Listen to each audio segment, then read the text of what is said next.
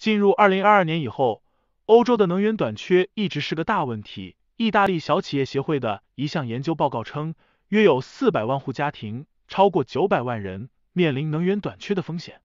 因为电费上涨和煤气费增加，这些家庭由于经济状况不稳定，无法在夏季使用制冷系统，无法在冬季使用供暖系统。目前，欧洲即将迎来自第二次世界大战以来最艰难的冬天。俄罗斯天然气工业股份公司已经开始减少向欧洲输送天然气。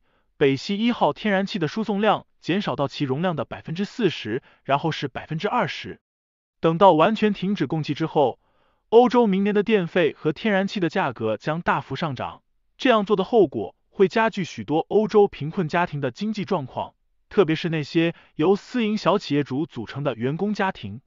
在取暖制冷或照亮他们的工作场所时，这些人需要支付两次账单，首先是作为国内用户。其次是作为小企业家，从地理位置上讲，意大利南部更容易遭受能源短缺的困扰，大约有百分之二十四至百分之三十六的家庭受到影响。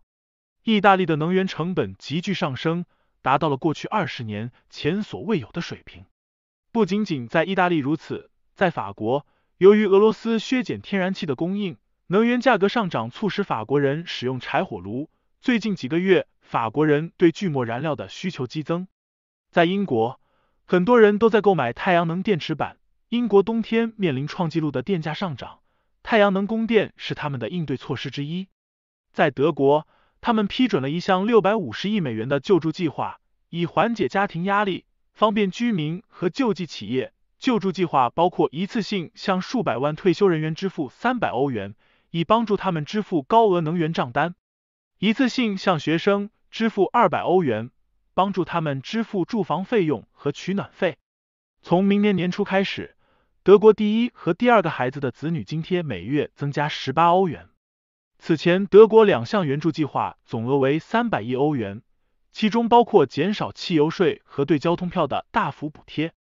德国建造了三个浮动工厂来储存液化天然气，并重新启用尘封已久的核能发电厂。但是储存天然气的浮动工厂需要六个月的储能时间，需要十年才能建造新的核电站。